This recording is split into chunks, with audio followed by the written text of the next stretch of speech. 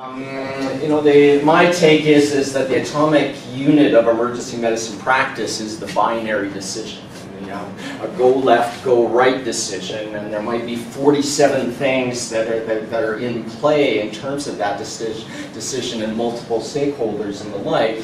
And yet at the end of the day, you have to be, you have to be admitted or discharged. There's no intermediate state, and so that, uh, so they have to do that. And, and you either have to, you know, kind of put a needle in that quivering five-year-old's antecubital vein or, uh, or not. And, and that decision matters to the five-year-old lot. You have to give a drug, don't give a drug, do an operation, don't do an operation. So that um, so these binary decisions are fascinating.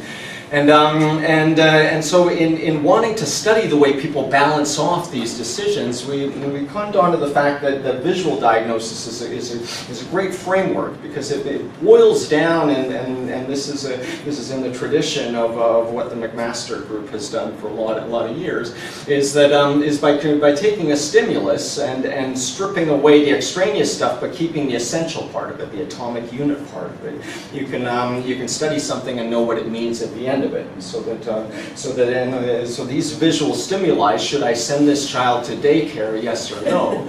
Um, is, uh, is you know, it kind of brings it down to the instant, really quite, quite interesting. And it's always been remarkable to me that the squiggles on this piece of paper distinguish between somebody, somebody being put out in the waiting room to wait for four or five hours versus 30 people descending on them and rushing them to the cath lab and doing all sorts of invasive things or invasive life-threatening things and, uh, based on time pressures. And then what we studied uh, at the start, which was ankle x-rays, and so that uh, so either, either I have to cast this person or I don't, and then it's based on me figuring out whether or not they've got a fracture and so on.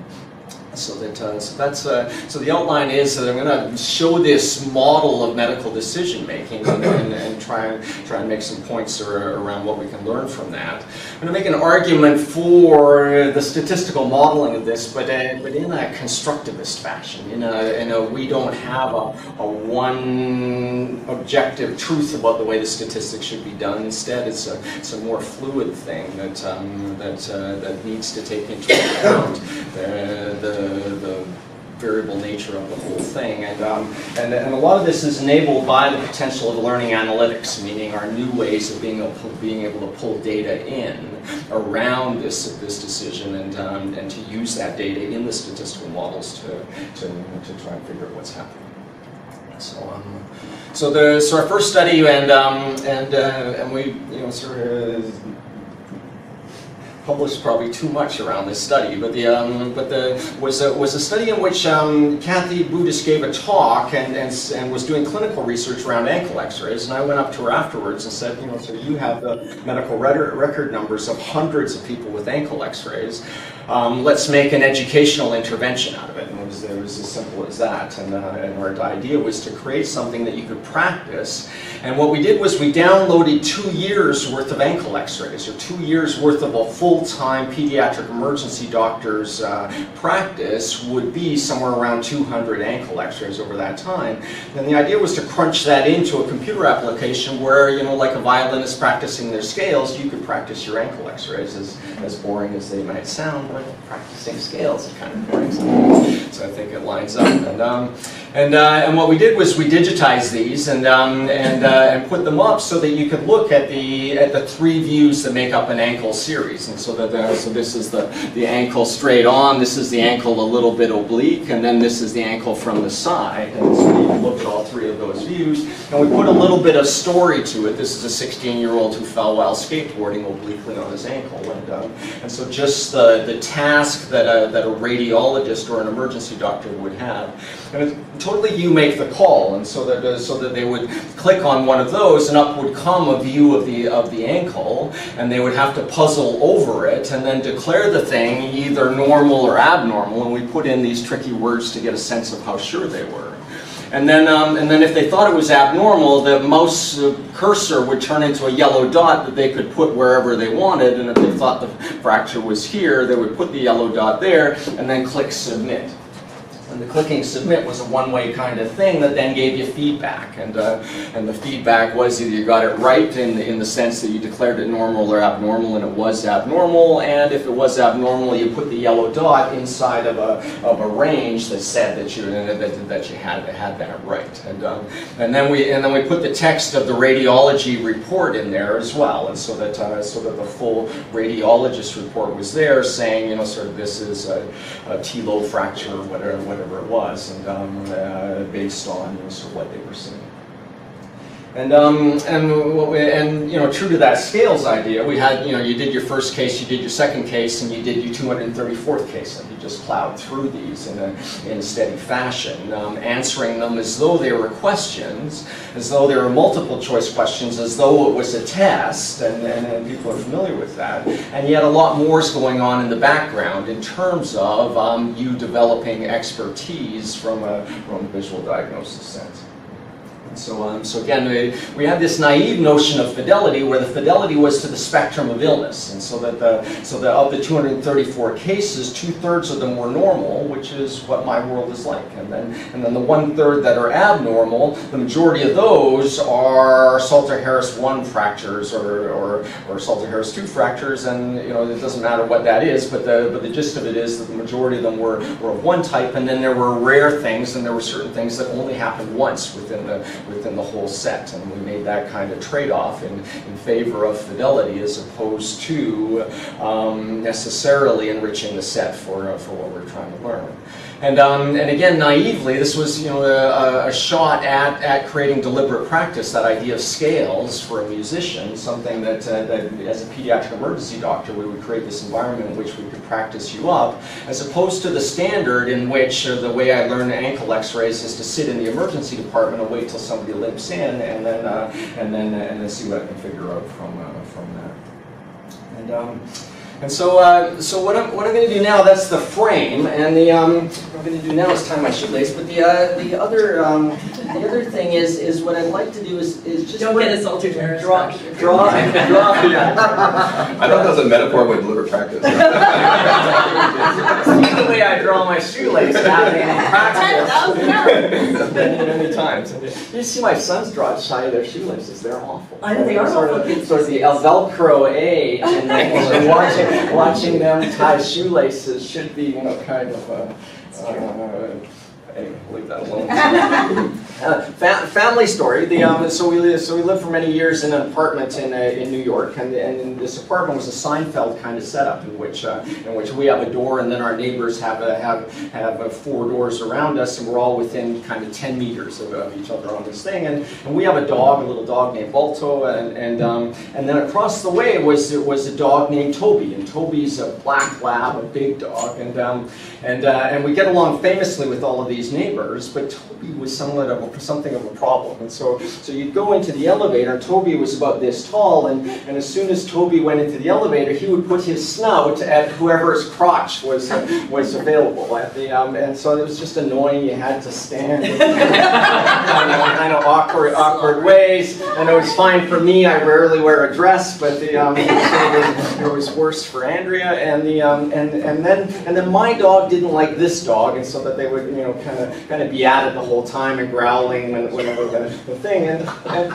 and that got elaborated with my within my family to kind of, uh, um, whenever anything bad happened, well, Toby was somehow involved. We know he was. And, and he would, uh, and so that if, uh, if your shoelace broke, well, then Toby had carefully filed it down so that it was about to break, and then, and then he brought it across. And it was this, um, this idea of Toby undermining, you know, like the undertoad or, um, or Moriarty, this miasma of badness was associated with Toby. And again, we love these neighbors and the dog's fine and the whole bit, but it was, uh, it was this myth we involved. And, and so as I was preparing this talk, I thought, well, what if Toby was, a, was an evil psychometrician who was trying to undermine us good-natured emergency doctors in, in learning, uh, learning about our things? And so that, um, so with all respects to any psychometricians in the room. Evil or otherwise. exactly. I can joke for the rest of the year. Your wife is done.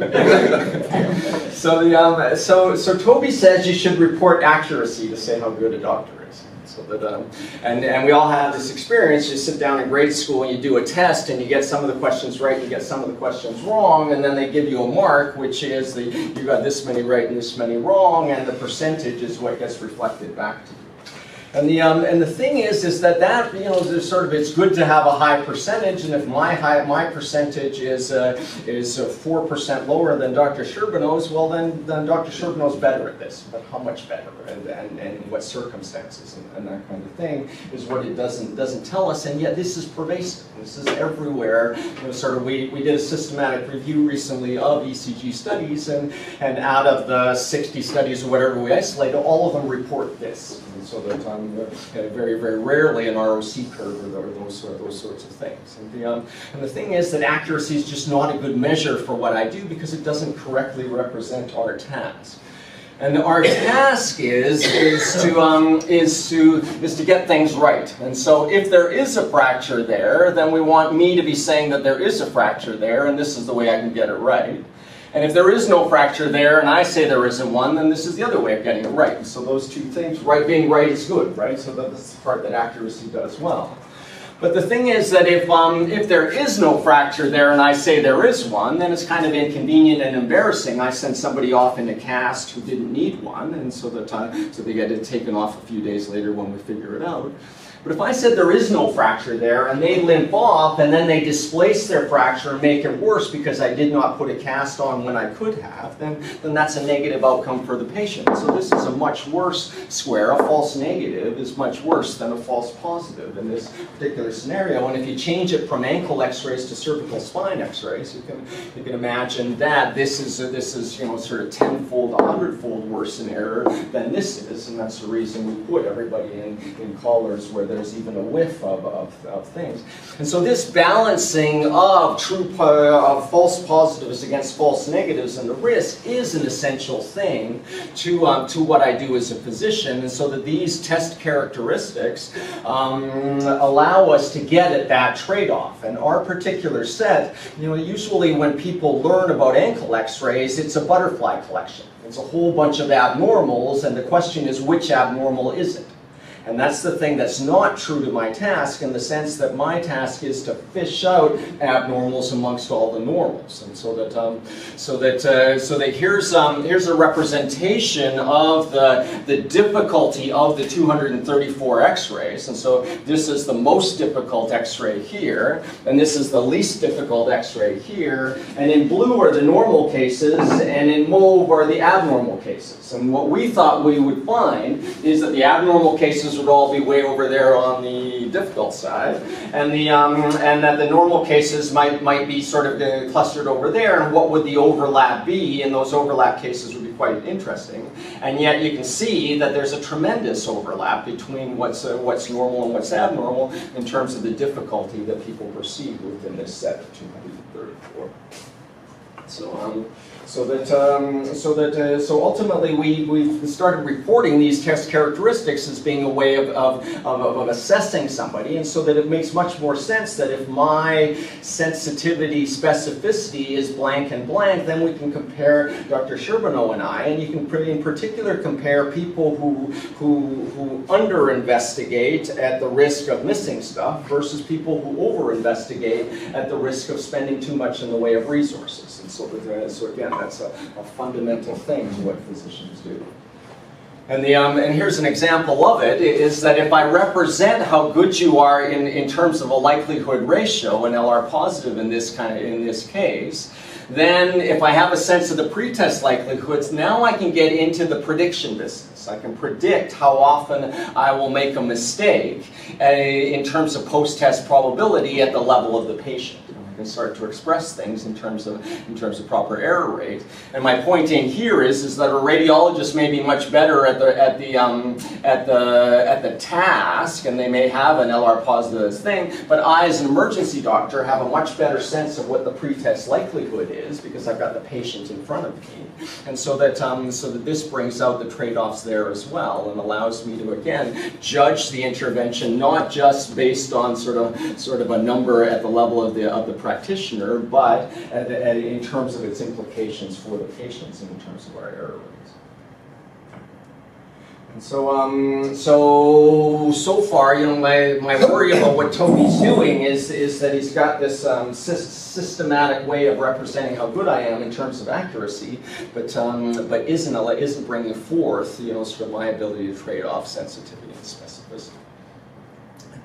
So we, um, so we took these 234 x-rays and we gave them to five types of people, and so medical students at one end, all the way to pediatric radiologists at the other, and we had them do all of these cases. And, the, um, and, uh, and, um, and so that this was across five institutions, it took them hours to do all two, 234, and at the end of it, the, the learners learned, and, and it was successful in, in, in, terms of, in terms of that. And, um, and so that uh, so this was uh, you know my awkward state of moment in the way, in the sense that up is good here. So this is essentially the area under the ROC curve, and then these are the, the five char characteristics. And if this had been backward, I'd have been in a lot of trouble, right? And so that uh, but thankfully the pediatric radiologists were better than the pediatric emergency medicine attendings. The fellows and the residents were roughly the same, and then the medical students, um, as expected, you know, sort of had a harder time with with doing this. But, the, um, but again, this represents the task as, a, as an exam. This is like taking 234 questions and saying, you know, kind of what's the point estimate, what's the class average for the medical students, and so on. And so that that gives you a certain amount of information. I can claim that my thing, you know, sort of sorts people roughly the way that, that you would accept. But a lot of information is lost in terms of just lumping all of this together. And so that, um, so that that's a Tobyism number two is that when you test, you should, all, you should never learn during the test. And so that giving feedback during a test is an anathema to a summative or a research kind of, uh, kind of assessment of somebody's ability. And so that Toby has carefully separated those two so that we only, only test people with no feedback over here, and we only, only learn over here without, you know, sort of worrying too much about the, about the metrics as we're going along. And so that, uh, so we'd like to explode that as well in the sense that as these, not all of these four items that this person did are created equal. Remember, we were giving them feedback, and so so the whole idea behind feedback is that you get better, and so that so that on the first one, the first time you see a Salter-Harris one fracture, you you get it wrong, but you learn about it, you get the feedback, you see what's happened, and then that influences item number ten, where another Salter-Harris fracture shows up, and uh, and you've um, and you've seen a seen a new one. And so that um, so we turned this on its side and we and we looked at how good you were from your first one all the way out to your 234th one. And this is a cumulative moving average, but the but the same sort of thing comes out if you if you do a sliding window moving average. And the and the gist of it is this is one person, and this one person represented in terms of their likelihood ratio positive. So again, one of those test characteristics. And the way this works is there's a bunch of statistical noise until you get to about the 20th case, and then a jagged line showing overall improvement uh, like the, you would want the stock market to improve. And, um, and then here's another person who has somewhat different pattern, but again, improving all the way out to the, uh, to the 234th case. We thought that 234 was too many cases and that everybody would plateau off and that we would report that it takes 137 cases to master um, ankle x-rays. Well, they ain't quite the truth. And the, um, so here's another person, and, and I've cherry picked, you know, kind of the, the best of the learning curves here. But the, um, but, but roughly two thirds, when we, when we looked at them, had had some form of, uh, of this sort of this kind of quasi monotonic um, uh, progression in terms of the way they learn. And here, here are the learners, the residents and fellows throughout this, and you can see the tremendous variability as you go across. And so that, uh, so this person was pretty good at it already, and sort of well above an arbitrary competency line there. This person learns and crosses the line and solidifies it as they, as they go along. This person here struggles and just really just barely kisses the competency line at the very end of the end of their um, end of their experience. And then Toby snuck into my study and answered all the questions wrong, and I got a negative learning curve, which. Uh, um, added noise to my results. like a good psychometrician, you just throw it out. exactly, I'm just going to stab, stab at the buttons. We've got Dr. Did you miss Norman. me? out of that. So I could come here and get abused. All resemblances to any people living or deceased are accidental. Let's not go to see either, okay? So, um, so this, so this Rose and I affectionately refer to as the spaghetti plot, because it looks like somebody threw the, threw the thing up against the wall, but there's a certain truth in here in the sense that averaged just looks great. It sort of follows the power law distribution that you would, uh, that you would anticipate for learning. But the lived experience of our learners is anything but this. And so that, um, so in fact, this would be the exception. And so that this person's um, experience of these 234 ankle X-rays is vastly different from this person. So kind of constructed a sense of, of, of we're all different. We all get to this particular thing. And so even though they're all the same X-rays, the way they go through them, based on who they were coming up to it and their particular um, particular background and abilities and the like, shows up in this tremendous heterogeneity.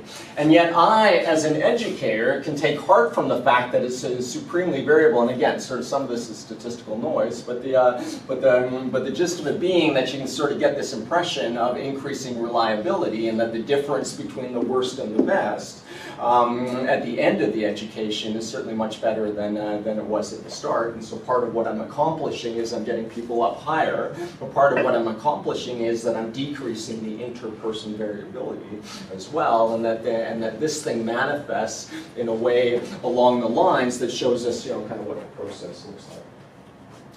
And um, and so the um, so when we break this out according to your level, then then interesting patterns come out as well. And so that the radiology attendings didn't learn anything from this. They weren't meant to learn from this. It wasn't to learn. You know, sort of these these cases were were what their daily job is. And so basically, once they settled into into the um, and got oriented to the thing, they had a nice flat line. The EM attendings learned some, but settled into their own flat line, which has a delta with the, um, with the pediatric radiologist. The, the thing worked the best almost for pediatric residents, who started off not as good as the fellows, but rapidly narrowed that down, so by the end of it, they're, they're essentially indistinguishable.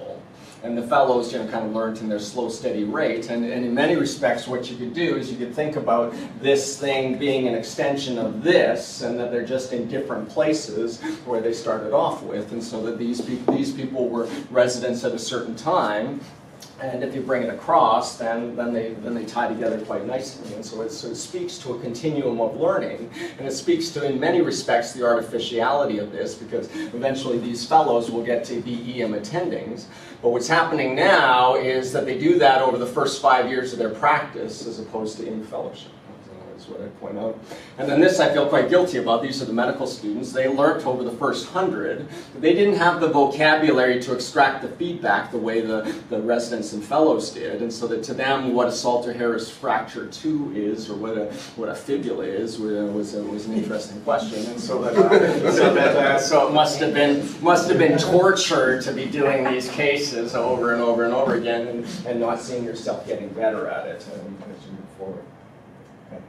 And, um, and they, you know, one, of the interesting things, you know, the whole competency movement started in the middle of this, and, um, and what we what we got, got a you know, sort of good sense of is the development, and what we're aiming for was the development of competency. And so here's two people with very, very different prior knowledge and very, very different paths through the um, through the 234 cases. And you know, kind of in the old days, the way you did this in terms of a time constant competency variables type of setup was thou shalt do 150 cases or thou shalt practice for two hours, and you would graduate with a delta between these two people. And what you would hope is is that the minimum competence was uh, was set at a place that had both of them up up above it. But patients hate that kind of variability, and so so the so the competency based uh, time variable uh, type of setup is thou shalt be this good. And so that, uh, and then your path, that your path towards goodness is variable. And our jobs as educators is to take ownership of this path and to help and to coach and to and to bring people across and to recognize the differences so that everybody ends up here and then everybody ends up at roughly the roughly or decreased. Um, our the reliability of our product becomes the, the, the focus there, and learning curves are just a natural representation of the way you would uh, the way you would show that. And you can do math on this, and so that uh, so here's the um, here's the Thurstone learning curve, and the and the Thurstone learning curve is essentially a power law, and um, and it has a but the, but it has all the things that you would anticipate in a learning system. So it so it has a y-intercept. You come into it with the prior knowledge, and that prior knowledge is not zero. Everybody can read ankle X-rays to a to a certain extent. And then it has a slope, and so some people learn slowly and some people learn quickly. And, and some people learn slowly and quickly based on the way I set up the feedback and my instructional design. And what I would want is that, is that a naive instructional design, and then I, then I teach better, and then I teach better, so that they're getting more and more efficient as, um, as I get better and better at teaching the particular thing. And the way I know that I'm succeeding is I take ownership of the slope. And so that the, the amount of learning per unit time or per unit effort is the, is the thing. And so that, so that time's explicitly in this thing. And then there's an asymptote, which says that if I keep doing this forever, how good can I be? And so that um, so it starts to, within the limits of the system that you develop, give you a sense of what excellence looks like. So that, um, so that how, you know, what is the potential of somebody learning ankle x-rays? And so we haven't done these studies, but eventually what we'd like to do is to get people to practice so much what the base rate of error is and how, how and what does it take to drive the error rate down to zero. So that, um, so, so fascinating, but it, but the, but the gist of it is, is that you can see that you level off and you become asymptotic out into infinity. And so that, uh, so the question of how close to infinity do I want to take ankle X-rays as opposed to the other things is, um, is an interesting, is an interesting. Sorry, Martin, did, did you try to model anything with those data? Or, And what you mean by that is, uh, I guess using complicated stats to determine for any of those individuals, what it might take, so once it went down, how many more it might take to, to go back. yeah, yeah. So um, so it's we do that. It's it's it's it's fascinating how difficult it is. And so offline we'll go, we'll go into it. But, what- but what we've what we've gotten to is um, is uh, is now modeling what the prediction interval is. So that what I know about you so far and what I know about people like you, you sort of through a multi-level model, you, you take um, you take the information from the people like you, and you take how much I know while you got to your hundredth case, and then and then guess at how many more cases you have to do in order to get to some something. And then and then model the, the confidence interval around that so that I so have a sense of what's happening there. And so that um, so we have done that. We've uh, we've created a number needed to achieve benchmark. And so that um, so that uh, so that uh, we set the benchmark, and then we say, you know, kind of your prediction based on your learning curve uh, that you the number of cases you would have to do in order to hit it is blank.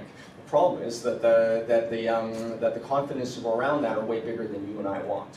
So that um, so that uh, so that uh, you know again naively I would have hoped that the confidence interval would, would, would go down like this. And if you and if you um, and if you look at uh, you know if you take the learning curve you know kind of thing the confidence interval for the the learning curve itself narrows quite nicely and looks beautiful. Sort of sort of at the end of it you know kind of I'm fairly fairly certain that the that the that the you know kind of the, the the terminal competence of this person in terms of uh, in terms of their accuracy is this, sort of from a, from an overall across the group thing. But what what that that kind of lies in its own way, right? It's its own tobyism because you know of the lived experience of this person has nothing to do with that confidence interval. And my my prediction from here as to that the person would end up there would have a would have an interval that looks like this. And so that um so it's so it's so you know kind of our holy grail of what we really wanted has been somewhat disappointing so far. I'm wondering if you've considered adding other information to that, though. in your Oh, knowledge. segue, that's. Sorry, uh, but Leslie had a question. Well, I Since you won't answer mine. It it might be somewhere along the line. might be similar along those lines. Do you think that a lot of the breadth of the confidence interval is because of who is included? Like you have your experts and then your your non-experts. Yeah, that, that's, that, that spaghetti plot is from our residents and fellows only. Okay. It's a great question. Do you have any sense of decay? I mean, this is a test of four hours when they finished. So this is acute learning. Yeah. Uh, and that the way that someone, that you, if you actually plotted how it decays, not just that it decays. Right. I mean, if they never saw an orang going through it, well, it would decay. Right. right. But you assume that, but how much it decays and which groups it decays at what rate and what individual rates of decay there are itself might be interesting. Yeah, yeah. And so, um, uh, so, so bless their souls, uh, um, Kathy and Marty did a one-year study, so that they had people do 80 um, elbow X-rays with feedback, plotted nice learning curves, and so people got a lot better, and then did a 20-item test right immediately afterwards, and so that uh, so established with 100 X-rays, you know, kind of um, improvement in that they had, and then over a one-year period, every two months, gave them a 20-item test. And they and and one and had four groups. One group they, they did nothing and just measured them at the one year mark. And at the one year mark, their ability was the same as their y-intercept when they started. So, and the um the they had to, we had um, three three groups otherwise. One that just got tested with no feedback. And that had a, that had a decay curve, but um, but by and large preserved its gains. And then, and then we had testing groups with feedback. And again, our naive impression was, was that the feedback would be the thing. And the way this would work is that the no intervention at all would be low, the just testing would also be low, and then our feedback ones would show a dose response curve with, a, you know, so we fed back with, uh, with two of the sessions and then with four of the sessions bit. And instead, all three of these were indistinguishable, so that there was a testing effect. Um, ended up counting the forgetting curve, but we did show uh, show forgetting in the in the complete control curve. Because that's sort of gets to linking competency to expertise, in terms of durable expertise. Right, right. How much of you count? That's right. And what do you have to do? And so, um, so the next Tobyism is that we often, you know, sort of, if, um, if we're modeling, you know, kind of somebody's ability, we tend to do it uh, in terms of that accuracy thing, how many questions did you get right, but we tend not to incorporate other information that we have about you. So that, uh, so that the, the whole modeling ideas as, as brought forth earlier. And so that, um, so that we've done studies with, uh, with various ones of these, and so that probably definitely has some signal in it and the like. But the, but the one I'd like to like to just show you um, is the is this fluidity idea, and so the um, so this is um, this is the residents within this ankle study, and they and they and these particular residents learned to about the hundred case mark and then plateaued. So that they were they were you know kind of done learning and would see themselves as being sort of not necessarily getting any better across here. And so that, um, so that what it would feel like is, is that this is mastery. So that the, this is, this is where, uh, if, if it was left up to them as to when they would quit, and we haven't empirically done this, but, uh, but it would be reasonable to quit there. You know, sort of, I don't feel like I'm getting any better, or here, or whatever. But what's uh, but look at their time per case. And so it starts off at 80 seconds up here per case, and then bubbles down, and then sort of at that point they were they were at about the 55 seconds per case, or maybe a bit lower. But they but they end, eventually sort of go down in again a learning curve kind of asymptotic fashion down to whatever this is 30 seconds per case, while by and large maintaining their accuracy argue about the boredom here and that they've tailed off. But the uh, but, it, but it's kind of like you know when you learn how to type, you first learn how to type with 95% accuracy, and then you hold your accuracy at 95% while hopefully chunking and doing all those good things in the background that allow you to become more fluid with the thing. And so my kids know that I don't, think, you know, sort of I go around with this mantra, you don't know it till you're bored, and so don't come back to me complaining about being bored. You know, sort of that's the goal. And um, and so that uh, so that they, but it's a tough message, right? And sort of uh, sort of saying that I want you reading X-rays so well that you can do it in 30 seconds and maintaining your accuracy. So that you can see building a learning thing in which it gradually sort of starts to ping the thing at you with time. And this is very, very controversial. Physicians hate learning, they hate the idea of being constrained by time. But, um, but time accuracy trade-offs are again throughout my life. And, and so that the pediatric radiologist who's meant to be cranking through has a time, time value trade-off. And, and, um, and yet the, the instructional manipulation of this is a completely unexplored thing. What that shows us, in fact, there is no time accuracy trade-off. Right, right. Well, to, within those constraints, right? So if I'm able to go faster, yeah, exactly. But, uh, but the um, but the whole question of whether that's an emergent phenomenon, so it comes along as you become better, and if that's the case, then I can use time as uh, to add to add to a model suggesting how good you are. Or it's, um, it's an additional thing, an additional constraint within the system in which it'd be interesting to me how time interacts with your developing expertise. And so both of those things of interest and both of those things reasons we're here today. Um, you know, and analyzing the path through which they're, um, they're getting to their expertise is fascinating because we can intercede. And so, so that, um, so here's, um, here's the amount of time they spent on each of the five screens that, that make up a case. And so, so this is the history screen. So this person spent almost 40 seconds on the history. I don't know why. And then, um, and here's 15 seconds on the AP, about 10 seconds on the oblique. They didn't even look at the lateral, and then they reported out their uh, their answer. And the um, and uh, and in this case, they got it right. But you can see the amount of detail I can get in terms of the way they read one case. And so here's a bunch of cases. And so that uh, so this one here, this is a nice progressive person who is compulsive about seeing every case, and they spend the right amount of time on each thing, but again, quite a bit of time on the history. This is a person with attention deficit disorder. Each and every one of the cases all the way across, and then finally declares what they what they think is happening. Promise to anonymize me.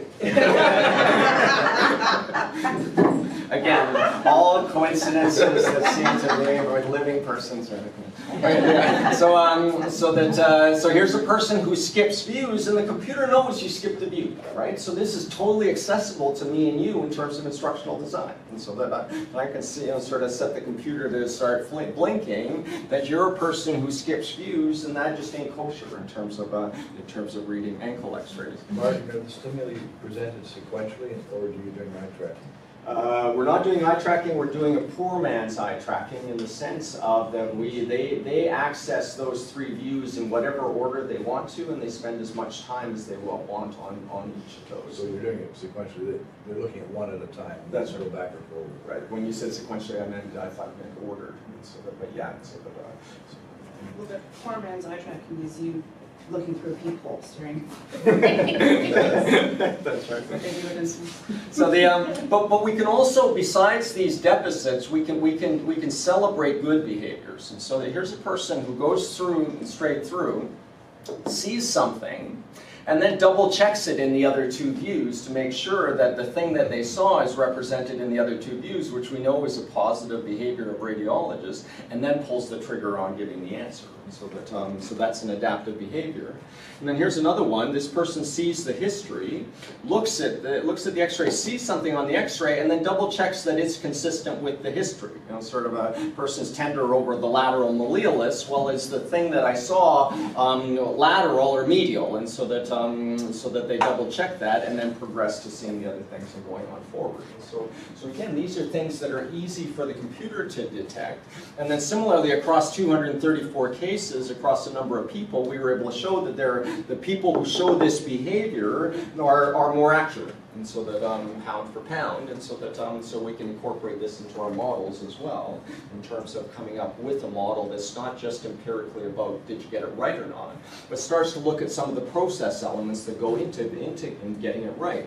And so I would rather that a person show a good process and get it wrong than that they show, you know, sort of a bad process, say they say they got this one right and, and got it right, you know, so that that's um, that's not that's not where I want to be. I don't I know if you've done, like, you could flip that and say that they're using that process because there's something about them, right? As opposed to mm-hmm. showing them the green version of it and saying, this is the way you should scan images. Right. Understanding why they're doing it that way. Right. right. But many then, of some of the studies Jeff's done with spatial mm-hmm. ability. Right, right. The, but that's, that's the dance, that's what teaching is, right? And so that, um, so it's, it's kind of, um, you know, where, where are you, here's the way I do it, and then you incorporate it and, and you go back and forth. And so that, it's- so again, it's that some things emerge as you get better at it, and, and, and so that, so that you're just kind of showing what's happening organically.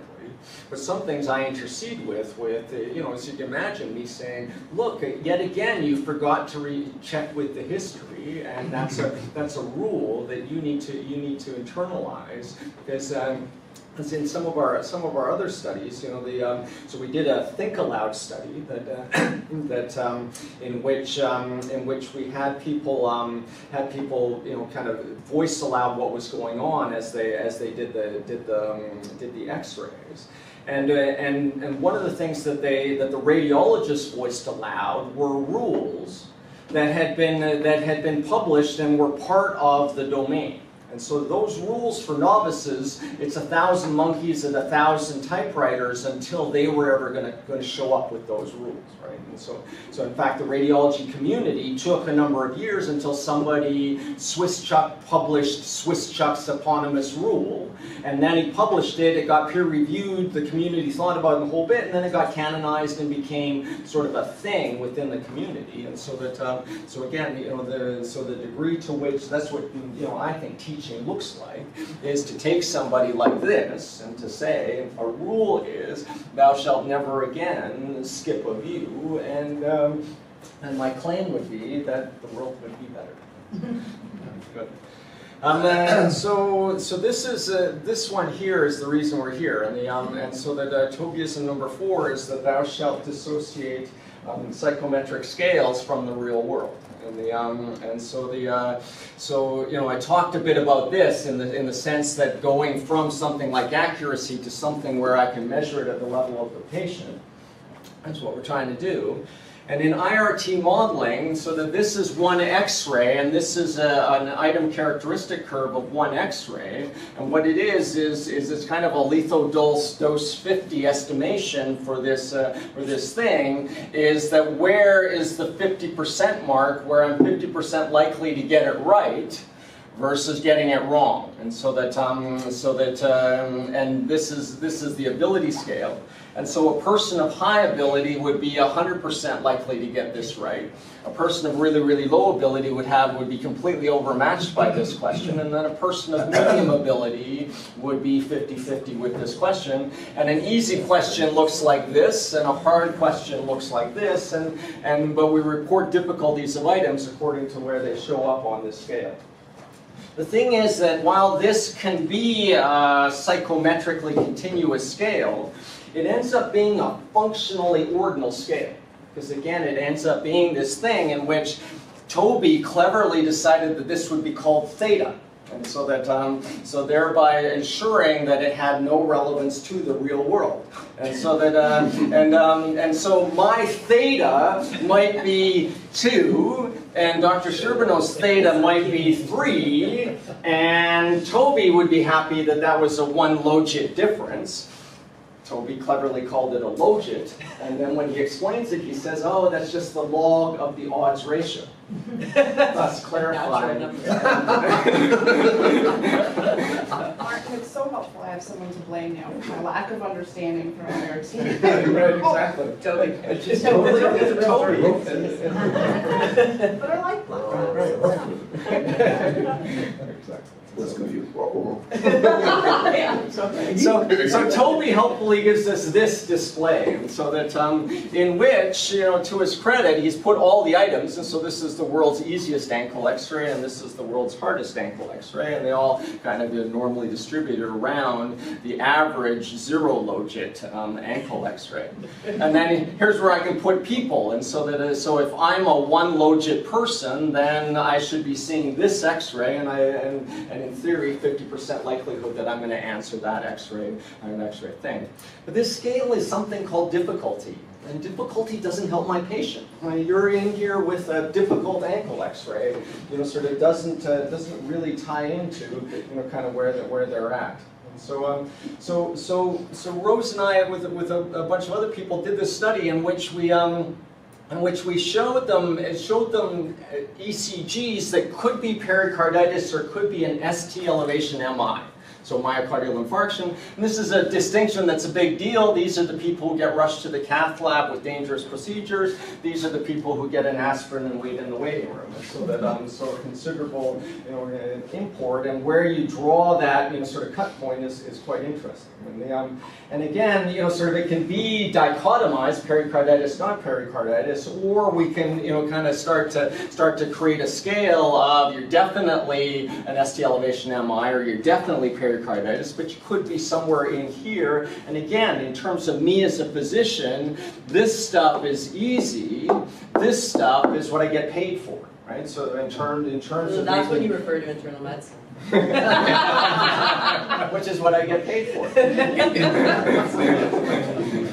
Silly. And so that I drew this line in the wrong place, so that, so that the, uh, but, you get the idea is that that, that line can be a, can be a cut point.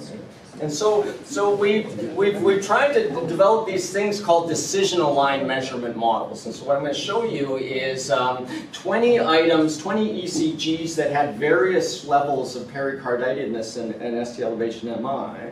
Um, it's going to take me about three, four minutes to present this. Is that okay a time check? I know it's nine o'clock. So, okay.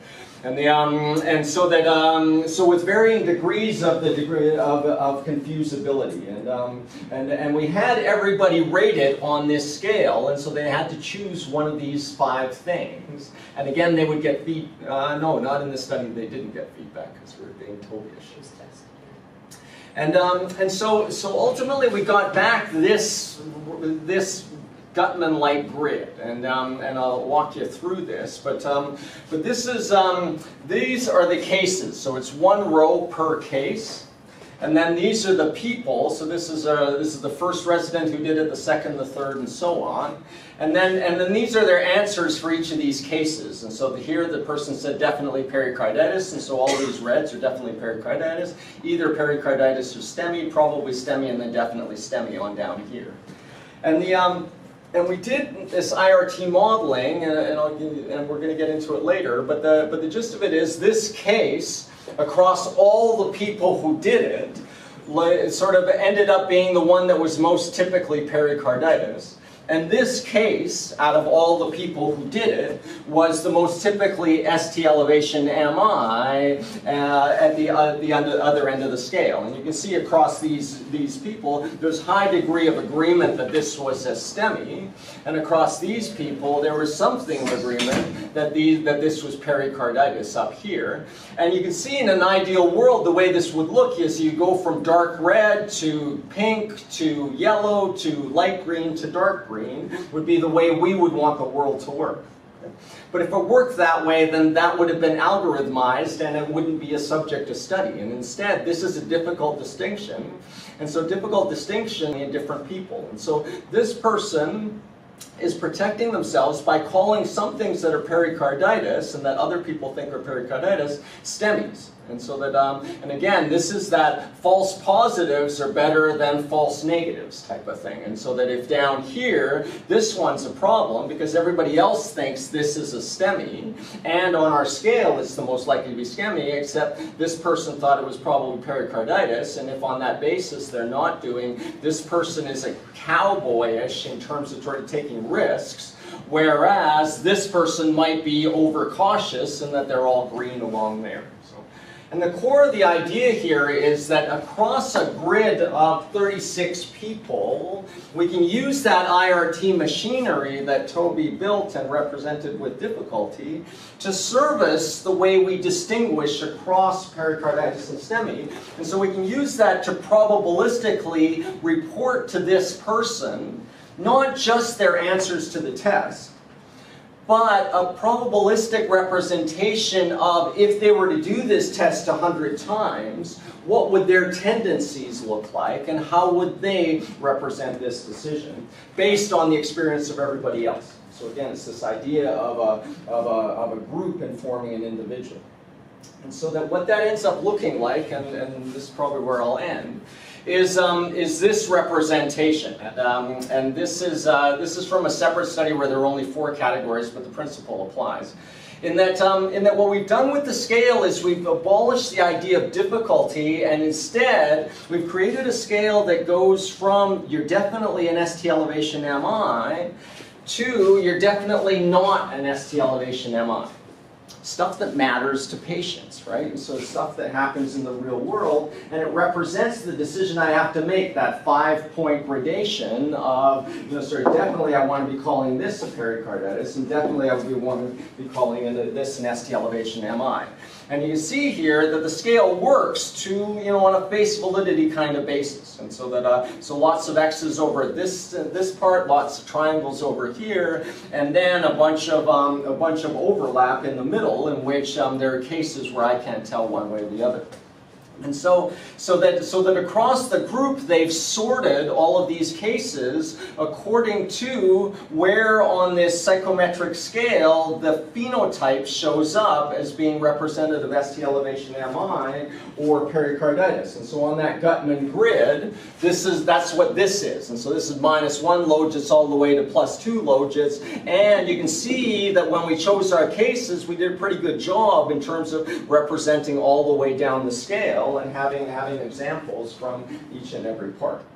And so they um and so but this this thing here is a category characteristic curve for a person. This is Rater number 1000 and we didn't do that many people, but it sort of, sort of makes us feel good when we get big numbers. Rater one is kind of, and recruitment was a problem. And, um, and so, so what this shows is this is the probability that the person would choose definitely STEMI. And so for 15 of the cases, that's the category they chose. And so for cases that are up here, this person would be very, very likely to call it a STEMI. And so this case here, this person would almost 100% of the time call it a STEMI. And then this category over here is definitely not STEMI, so in the other studies, pericarditis. And sort of for a case that's here, this person would 75% of the time call it a pericarditis. But 25% of the time they would call, or definitely pericarditis. And then 25% of the time, they would hedge their bets. They would say it was prob probably um, pericarditis, this, uh, this second category. And then this is probably STEMI. And so what's interesting here are these thresholds where a person goes from calling a case probably STEMI to calling a case definitely STEMI. And so we can drop a plumb line down here, and we can go exactly to that case pull that case out of our file and then sit down and say, why is this your, your border case between these two particular categories? Now the, now the patient may not care of the probably definitely distinction, but they sure as hell care about the definitely STEMI versus definitely not STEMI kind of thing. And you can see that this person's curves don't overlap hardly at all. And so when this person says definitely one or definitely the other, they exactly divide these things really, really quite nicely. But what, you'll, what, um, but what we have to be concerned about is how good are cardiologists in general in terms of separating this out. And so what we would want to know is, are all the diamonds or triangles over to the left of that, and are all the X's to the right of it, and to what extent is that true? And we can do that with signal detection modeling and 2 by 2 curves and the whole bit. But what this is trying to get to is a representation of the way people separate things out along the scale. And to kind of wrap it up in terms of time is, is that the potential of this is that instead of me teaching items, going across items, I choose items that are about teaching a scale.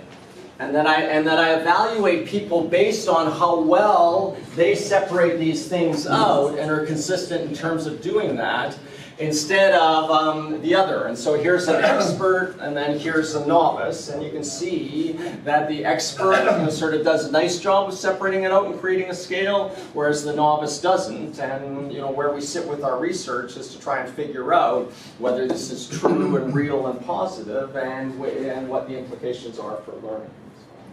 So I recognize it's now 9:10. So is are we meant to finish at nine, or are we? Uh, We- yeah. Yeah, the room till ten, okay, so that, um, so the, so I'm, I'm gonna, s- I'm gonna stop there just in terms of the, the presentation part of it, but uh, happy to, happy to take questions in the, in the meantime.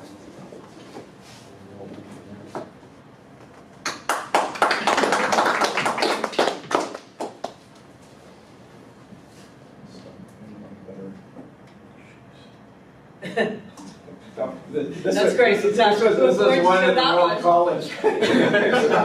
You know, you know, for a guy who takes perverse pleasure in bad mouthing psychometricians, you sure do a hell of a lot of psychometrics. Yeah, I Sort heard of right? hanging on to the cliff, Bad trying to keep up with you. Martin, as always, you really push my thinking. The last little bit, I just want to make sure I understand the sequence of uh, your logic and a couple of assumptions there. You can build up a series of cases that you can then show these curves by expertise versus novice. Will you then assume that all novices by just generation of where they are in training should get this tailored type of intervention, or should you run them through so you could actually see where their discrimination is, and then from that build out their educational intervention? Yeah. The, the image is, or the, um, the thing, the thing that we would imagine is that a person walks up to a, to a computer and, um, and starts doing cases. And, um, and in general, that would be kind of naive because it would, it, what it may well do is say, geez, you're not very good at this, you're a total novice. You have to do your, your vocabulary. And so it would go through an anatomy thing and it would teach that medical student what a Salter-Harris 1 fracture was and that kind of stuff. But it would rapidly and as often as possible get you doing cases and get you doing cases that are that are um, that are in a progress testing kind of fashion. Sometimes they're way too hard for you, but but the majority of the time they're kind of set up so that you're you're succeeding. And, um, and it just gradually has this sense of who you are, and it grad and it has its own representation of what the environment is and what kind of cognitive model I'm trying to induce in you and then um, and then just plugs away to fill in that model. So so where we failed is, and I told Matt above this, was you know kind of we download a bunch of EKGs and we sample the EKGs and then we just threw them at them. You know, sort of in, in the in the sense of not doing very much structuring and instead you know sort of being true to the task the task that you do is phenomenal, right? In the sense of it could be it could be any of 120 different diagnoses, and and the um, and and that's impossible to teach like that. And so that we had to strip it down to pericarditis versus STEMI, teach that, and then move on to the next thing. So to answer your question, and what we're trying to do is is is draw from you only stuff that's relevant to the cognitive model that I'm trying to trying to install in your head. And, um, and then, but, but anything that's related to that cognitive model, your fluidity, your certainty, your skipping views, your history reviewing, any of that kind of stuff is fair game within the thing. But stuff like I am a medical student, I am a nurse, I am the world's greatest cardiology, I say so, you know, kind of, uh, kind of stuff gets thrown out because it doesn't have any predictive power compared to this stuff here. I think the cool stuff too that comes out of it, so like obviously ultimately, yeah, like an adaptive learning system that's really tailored, like, but what we don't really understand is like actually what are the levels, like we think, you know, we have what we teach in the classroom, and what we think are like what are the concepts that are fundamental to know the next thing. Mm-hmm. But I'm not sure we got that right. That's what we're finding is like, oh, you think it just builds from like first you do normal versus abnormal, then I don't know, let's dive into like the next difficult concept is ST elevation, let's say, or whatever. And so you think that that's the way it goes, but what we find as we throw the sets at is that I'm not sure we actually, like if you look at the evidence, I'm not sure we understand what those, like if you thought of them as the levels in the game are, what are the natural levels in the game. Because clearly what happens with the med students when we just throw everything at it is they get better at normal versus abnormal, but that's it. So they're really, they're learning to recognize normal as step one, you know? What step two within abnormal, I'm not sure we know. Does your adaptive learning machine, um, is it just on around binary um, diagnoses? Is, can you layer, is there a potential layer in that complexity? We've wrestled with interpreting ECG, and then we realized, oh my god, that's so many diagnostic tests in one frame that we probably need to get back to what you're talking about stripping away. Um, and normal and abnormal is even hard for us to define. Yeah, so that the, uh, exactly, but the, but that, that's where the hope is of this continuous scale, right? And so that, so that what the continuous scale gives you is you're no longer dependent on one item. And the, um, and instead, each item is contributing to giving a sense of their overall ability to classify these things. And, um, and so that, uh, so that how you teach that one item is important in terms of the granularity of how it goes across. But the, um, but the, but the, you know, sort of it's, um, it, you're no longer representing the world as this is definitely a pericarditis. Instead, you're representing the world as um, 36 of your colleagues did this, did this, um, did this thing, and based on that information, we think you would 30% of the time call this a pericarditis, and 70% of the time call it an MI. And so the um, so that those those curves have done this in, in pathology with um, with the Gleason scale in, in prostate cancer type of thing, which again is a continuous thing. And again, they make dichotomous decisions: chemotherapy, not chemotherapy, kind of kind of thing across that. And the um, and the gist of it is, is that the, that the pathologists, you know, the best of the pathologists have really, really nicely separated um, their five categories. Their, their curves aren't like this, they're like this. And so that uh, with very, very little overlap from a Gleason 2 to a Gleason 3. And so a patient looking at, at that would think, great, we as um, you know sort of interpreting interpreting those middle category pericarditis versus STEMI things, we have a hard time with that. And so the, the, the best of our cardiologists, there are a number of them there they said it's one or the other. And the right answer is it could be either, I don't know, based on the expertise of the cardiologist. And so that so I kind of naively went to the I'm on the I'm on the, the pediatric emergency medicine sub board of the of the American Board of Pediatrics. Yes, Rose, we have an exam and, and well, so special. yeah. And the um, and so I, so I bring them the, an ECG and I bring them a multiple choice STEM and I say you know kind of here's an ECG and I have empiric evidence that this the answer to this ECG is either pericarditis or STEMI. you can't tell. And so answer C was I don't know. Like you know, sorry, and it's the right answer. And so, as you can imagine, it did not appear on the exam, and I was roundly booed and shooed out of the room in terms, in terms of the in terms of the thing, because because we're not ready for that. That's not the way we think about multiple choice questions.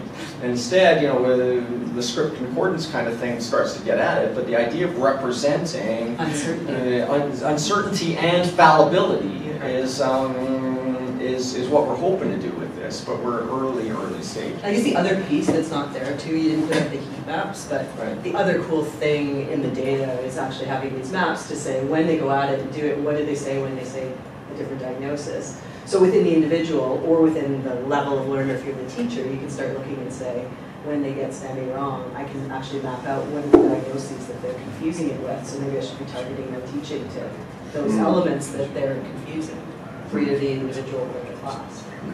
That's really cool. Yeah. But is it worth looking at the items that do confuse the experts? Yeah, it's looking at all the items basically. Yeah, but, you know, where, so where the item is, it's a, it's a STEMI or it's a pericarditis, and it's fifty-fifty. What is it about Yes, that? those are the most interesting. What is it about that? And what could you learn from that in teaching somebody? Correct. Because if it's, if it's, I mean, your point, of course, things are never dichotomous, they're, they're sort of uh, hexagonous half the time. you know. It could be one of six things, you know what I mean? Right. But if it is dichotomous, then what is it that's driving people one way or the other? Right. And in that, and in that um, study, pericarditis one, the other bit, which Martin just barely showed, but there's the category where we actually went to the clinical data to find out like what is the right answer. And the ones that were uncertain, some of them should have been uncertain. In fact, that person who was like probably pericarditis was actually the only right person based on what the case had actually been that that ECG was derived from, because they're all contextual in this teaching setting. And I think there's some limit to what visual information can. Correct, yeah, that's not the end And of the even, story. even the clinical benchmark may not actually be the gold standard Correct. because of like. Well, that, wa- that Maybe- was amazing, was maybe when, you know, sort Rose had one of her fellows for each of these cases and established the gold standard. So that, uh, so this is on chart review, what it played out to be. Yeah, so And look at ER, right, that one in the green, no, come Yeah. down, to pericarditis in the green, and then go across. Right. Because you were pointing out that person in pink. Yeah. But actually, that person in pink was the one person who was was, you know, right, if you will, but Right. what actually happened in the case. So the three, the column that says three rater diagnosis was. That was three people reading it, and giving their, that's their normal Like way. Faculty or? Three, yeah, because that's what, you know, typically in our studies, that's how we'd say was the right answer. But then we took it one more step and had a fellow go back and chart review based on the CAP and the clinical info to say actually what was the clinical diagnosis for that patient. Yeah. So that, that 50/50 sometimes is super interesting because it probably, I'm not sure there is a right, like, I'm not, it really is 50/50 maybe because the From the medical clinical student's case. point of view, it's worth teaching and still worth taking in history. Uh, and, and maybe it's, it's less about uncertainty because that is sort of an individual psychological construct and, and more just limitation of what is possible Yes, to derive. absolutely. Right. Right, because. And what do you need to do next in this Correct. right? I mean, That's the There, important there question. is inherent ambiguity and complexity in some of this material that can't be teased out with a deterministic endpoint, right? And how this model then scales across scope, I think is gonna be the tremendous challenge. Right. Right, because it's easy to find sentinel areas where they, we can nicely polarize the decision-making. Right. Well, this only works if it's a unidimensional Yes. scale, right? And so the, so this, this, this little bit of, um, of pericarditis STEMI is unidimensional. And so that, uh, so that that works, uh, but, but as soon as we start to layer stuff onto it, you know, I think I told you about our, our, our hilarious, um, factor analysis in which we had hundred people do hundred EKGs and there were thirty-two factors that, that, that, that, that had an eigenvalue greater than one. So that, um, Really? so Well, I mean, there's 500 recognized appropriate uh, descriptions to affix to an ECG based on an American College of Cardiology Oh, yes, that. handbook, right? That is itemized out, there's a correct terminology, and you must apply. Lumpers versus splitters, right?